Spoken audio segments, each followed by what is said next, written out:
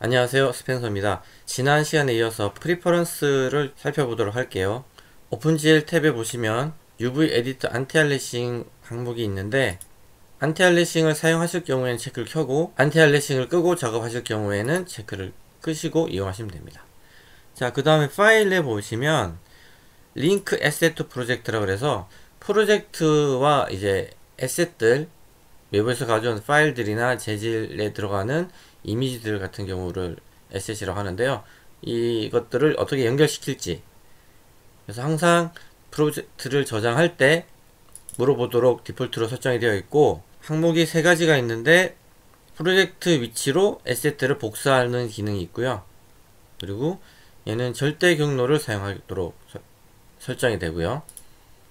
음, 보통 디폴트로 이용하시면 될 것 같아요.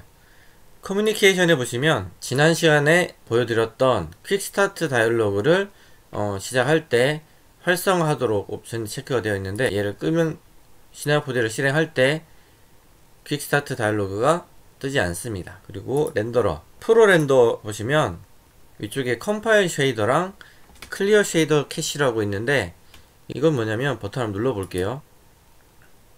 ProRender를 작업을 하실 경우에 자 보시면 ProRender는 이제 shader를 compiling이 마쳤다.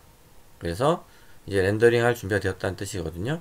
시네마 4D에서 작업된 쉐이더를 프로렌더로 렌더링 하려면 ProRender shader 방식으로 compiling을 한번 해야 됩니다. 근데 이제 렌더링 하기 전에 먼저 compiling을 한번 하고 난 뒤에 렌더링을 하게 되면 렌더링 속도가 빨라지기 때문에 이 버튼이 추가가 됐고요. 그리고 작업하시다가 shader cache를 초기화 할 수도 있어요. shader가 너무 용량이 커졌을 경우에는 이 clear를 눌러서 초기화해서 다시 작업을 하실 수 있습니다. 그래서 간단하게 preferences 두 번째로 알아봤고요. 다음 시간에 이어서 preferences 세 번째 신기능을 말씀드리도록 하겠습니다. 감사합니다.